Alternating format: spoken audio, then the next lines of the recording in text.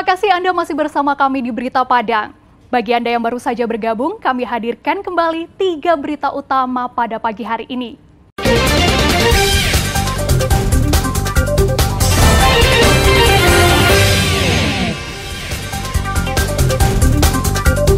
Lahan tidur disulap jadi kebun terong. Tradisi ziarah amanah silat Pingyan Batanghari yang ke-121.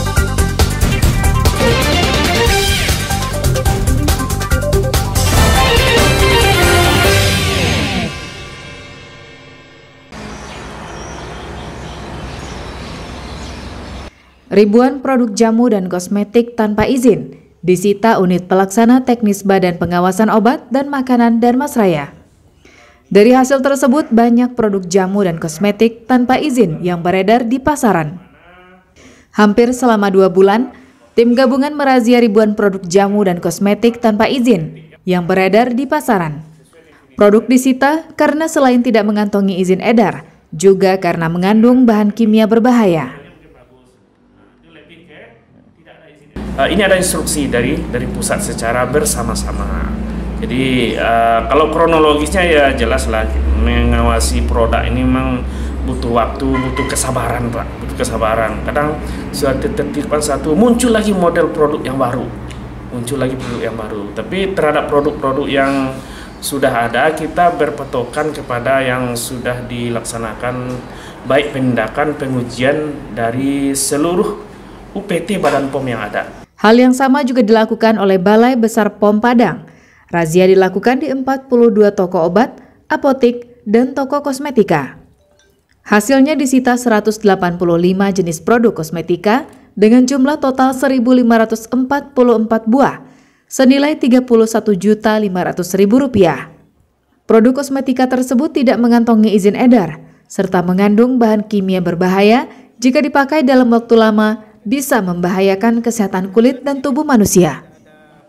Nah, kalau tidak melalui proses izin edar, kita tidak tahu kan banyak temuan kami itu ternyata seperti pewarna-pewarna itu menggunakan pewarna yang tidak boleh untuk kosmetik. Kemudian ada juga beberapa pemutih setelah kita lihat dia menggunakan pemutih seperti yang dilarang seperti merkuri, kemudian hidrokinon seperti itu. Karena itu dan itu sangat berbahaya sekali dengan dosis yang kita tidak tahu. Nanti ketika digunakan lama-lama terakumulasi bisa menimbulkan penyakit. Seluruh kosmetika ilegal ini akan dimusnahkan oleh Badan Besar POM Padang. Sedangkan pedagang kosmetika ilegal tersebut, Balai Besar POM Padang hanya memberi teguran keras kepada pedagang tanpa adanya tindakan hukum sama sekali.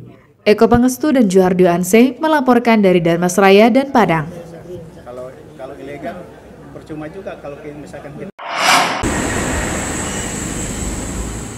Kawasan perbukitan yang dilintasi jalan raya di Kanagarian Gunung Padang Alai, Kecamatan Lima Koto Timur, Kabupaten Padang Pariaman, kini sudah berubah. Lahan tidur yang dulunya ditumbuhi semak belukar disulap menjadi perkebunan. Adalah Om Rizal, warga Gunung Padang Alai yang memberanikan diri untuk mengolahnya. Empat hektar lahannya diolah menjadi perkebunan. Untuk tanaman terong, luasnya 2 hektar dan tumbuh dengan subur dan berbuah besar. Meski sempat diragukan oleh warga lainnya, namun Om Rizal bergeming. Keuletan mantan supir Metro Mini Jakarta ini membuahkan hasil. Tanaman tumbuh subur. Bahkan yang sudah dipanen langsung dipesan pedagang pengumpul. Om Rizal bahkan mempekerjakan delapan orang untuk membantunya. Kini kebun terong telah berubah menjadi sumber pundi uang bagi Om Rizal dan keluarganya. Selain terong, dia juga menanam dua hektar lahannya dengan jagung dan tanaman durian. Sebetulnya ini bekas longsor, longsor tahun 2009. Jadi boleh dikatakan ini lahan tidur, nggak produktif. Jadi setelah saya pikir-pikir, dimanfaatilah. Makanya saya mulai nanam duren supaya durian ini cepat gede atau yang menghasilkan tumpang sari yang pertama adalah jagung habis jagung durian dawa nggak membutuhi pelindung lagi maka saya tanam sekarang terong Rencananya, Om Rizal akan membuka perkebunan baru dari hasil penjualan terong dan jagungnya. Dia juga mengajak warga lainnya untuk menanami lahan tidur yang luas ini agar bisa produktif. Eki Rafki melaporkan dari Padang Pariaman.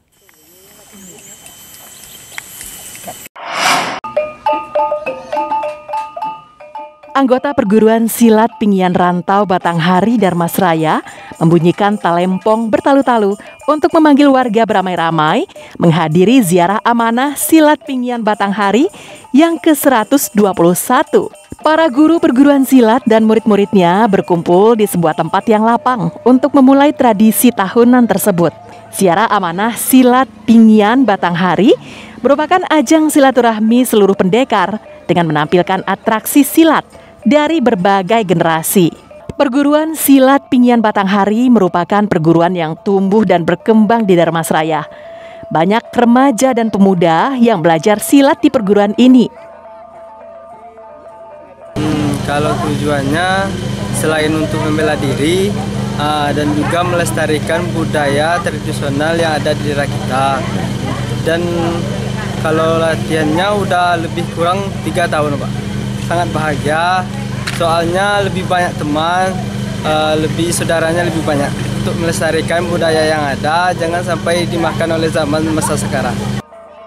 Silat Pinggian Rantau Batanghari dikembangkan oleh seorang pendekar yang bernama Duli Datuk Mangku yang pulang ke Darmasraya setelah merantau. Sehingga didapat izinlah Duli ini yang bergelar Datuk Mangku diizinkan untuk mengembangkan silat di rantau Batanghari. Karena waktu itu jalan kita belum ada jalan darat, karena kita jalan air. Jadi jalan air ini Batanghari Sungai Dare inilah jalan untuk mengembangkan silat tinggian ini.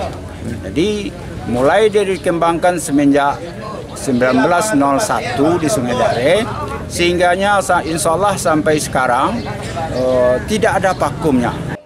Selama dua tahun yang lalu, ziarah amanah silat Pinggian Batanghari tidak digelar karena pandemi COVID-19. Oke, memang dua tahun berturut-turut sebelakang ini kami tidak melaksanakan ziarah amanah itu atau boleh aman. Dikarenakan kondisi negara kita yang dilanda musibah yang dikatakan dengan pandemi COVID-19. Memang uh, pada hari ini kami mencoba kembali. Sungai Dare ini adanya nama guru yang empat, empat orang itu, guru nan barampe.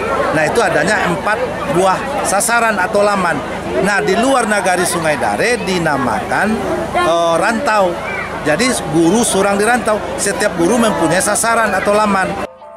Siarah Amanah Silat Pinggian Batanghari merupakan peringatan ulang tahun perguruan yang tahun ini berusia 121. Eko Pangestu melaporkan dari Darmasraya.